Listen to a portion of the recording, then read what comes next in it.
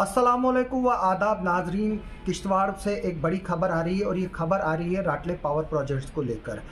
जी हाँ राटले power project की जो पावर प्रोडक्शन होगी, अब उसको जो है वो राजस्थान को जो है बेचा गया है और जो खबर आई है उसके मुताबिक जो राटले पावर प्रोजेक्ट किश्तवाड़ में जो अंडर कंस्ट्रक्शन प्रोजेक्ट है, उसकी पावर जो है वो अगले 40 साल तक Rajasthan Urja Vikas and IT service limited को जो है वो दिया जाएगा और इस सिलसिले में एक पावर एग्रीमेंट जो है वो राटले पावर प्रोजेक्ट को को लेकर जो है वो हुआ है। राटले पावर प्रोजेक्ट जो है 850 मेगावाट का पावर प्रोजेक्ट जो है दरियाई चिनाब पर जो है वो बन रहा है और ये द्रावशाला का मकाम है, वहाँ पर बन रहा है। आपको याद होगा ये प्रोजेक्ट पिछले दिनों काफ़ी सुर्खियों में रहा था, जब प्रोजेक्ट में जो काम कर रही वाली वाली कंपनी है, उसने जो है इस प्रोजेक्ट को काम जो है वो बंद कर दिया था, क्योंकि उसने जो है वो बताया था कि वहाँ पर जो लोकल लीडरशिप है, पॉलिटिकल लीडरशिप खासतौर पर जो बीजेपी के लोग हैं, उन्होंने जो है उनको हरास कर रहे हैं और कंपनी में जो है वो काम करने का माहौल नहीं था। उसके बाद गवर्नमेंट और एडमिनिस्ट्रेशन ने काफ़ी स्ट्रांग एफर्ट्स किए और वहाँ पर जो है तहसीलदार और पुलिस को जो है वो मॉनिटरिंग के लिए रखा गया सी वगैरह लगाए गए उसके बाद जो है वो वहाँ पर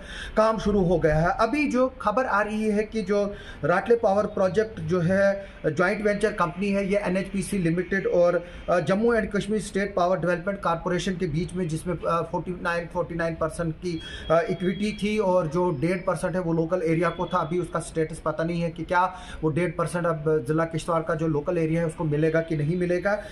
इसमें बताया गया है कि जो राटे पावर प्रोजेक्ट की जो पावर है, अगले चालीस साल तक जो है वो दी जाएगी, जो गवर्नमेंट ऑफ़ राजस्थान है, उसको दी जाएगी और जो इसके सिलसिले में एग्रीमेंट जो है वो साइन हुआ है कमर्शियल ऑपरेशन डेट जिसको सी कहते हैं। आप प्रोजेक्ट जो है वो एलोकेशन जो ministry of government of India है उनकी तरफ़ से जो है वो एग्रीमेंट जो है वो साइन हुआ है जयपुर में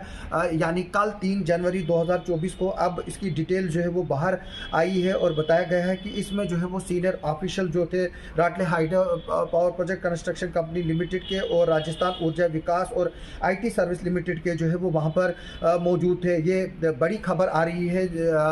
किश्तवाड़ ज़िला के से जो कि पावर प्रोजेक्ट वहाँ पर बन रहा है, उसकी पावर जो है वो अब राजस्थान को जो है वो दी जाएगी। हालाँकि अभी किश्तवाड़ में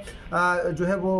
पकल डूल हाइड्रो पावर प्रोजेक्ट उसका एक हज़ार मेगावाट की भी पावर जनरेशन होगी। अभी उसको, वो किसको दिया जाएगा, उसके बारे में नहीं पता है। क्वाड़ और कीरू की कंस्ट्रक्शन भी जो है वो हो रही है। लवर कलनाई पावर प्रोजेक्ट जो कि अड़तालीस मेगावाट था कई सालों से जो है वो बंद पड़ा है, उसको भी रिव्यू करने की कोशिश की जा रही है। इसके अलावा जो करथाई वन और करथाई टू और उसके अलावा हंसवाड़ पावर प्रोजेक्ट जो कि पाडर इलाके में बनने जा रहे हैं, उनमें भी जो है वो इनिशियल स्टेजेस पर काम चल रहा है। वो भी तकरीबन 1800 मेगावाट के करीब जो है ये तीनों पावर प्रोजेक्ट्स है। अब देखना होगा कि आगे चलकर जो जम्मू कश्मीर इस वक्त पावर क्राइसिस में जो है वो डूबी हुई है और ख़ासतौर पर ज़िला किश्तवाड़ और डोडा, जहाँ पर कई घंटों तक जो है वो कटौती हो रही है और एक कहावत है कि चिराग तले अंधेरा। क्या जो हमारा किश्तवाड़ जो ज़िला है और डोडा ज़िला है, क्या वहाँ पर जो बिजली की कटेलमेंट इस वक्त आठ आठ दस दस घंटे हो रही है और लोड शेडिंग हो रही है अननेसेसरी क्या उसको जो है वो बंद किया जाएगा कि यहाँ जम्मू कश्मीर के जो किश्तवाड़ ज़िला और डोडा ज़िला में पावर प्रोजेक्ट बने हुए हैं, उनकी बिजली जो है वो सिर्फ़ बाहर के स्टेटों को जो है वो देखने को मिलेगी और